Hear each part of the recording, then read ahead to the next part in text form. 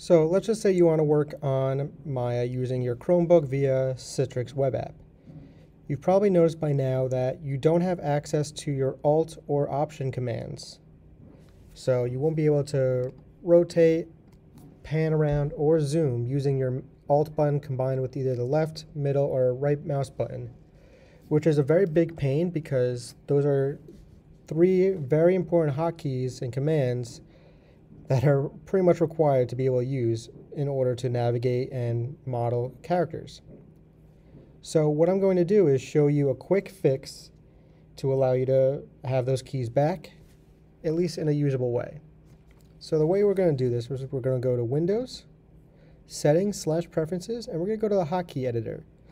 So the Hotkey Editor is this window right here, and it basically shows you a nice keyboard layout right here, Everything that's lit up in this teal color is assigned keys, and anything that's grayed out is unassigned. And if I hit Alt or Option, it'll show me what they look, what other ones are set up without it.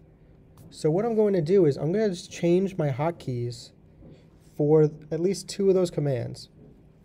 So what I'm going to do is I'm going to go to where it says Edit Hotkeys for. I'm going to go to choose a character category, and I'm going to go to Other Items. Now, once we get into other items, there's going to be a very long list. And we're going to look for where it says navigation. I'm going to click the little arrow to bring down these. And the ones we're going to focus on are the tumble tool and the track tool. So the tumble tool is basically your rotate tool around a scene. And what I'm going to do is I'm going to look at my keyboard right here and I'm going to set it to 8 since that's one of the few buttons that aren't being used right now. So I'm just going to tap in 8, and now it will light up just like that.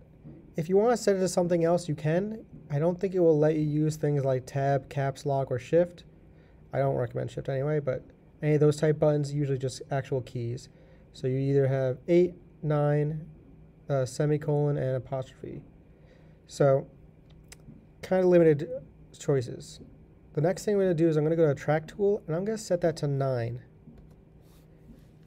And now both of those are lit up.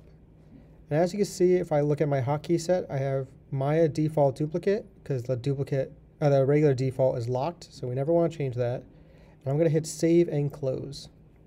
So now what happens is if I hit the 8 key on my keyboard, it will now switch to the rotate tool. The only problem with it is I will have to hit Q or one of the other tools at any time to get out of that tool because it actually will show up as a regular tool.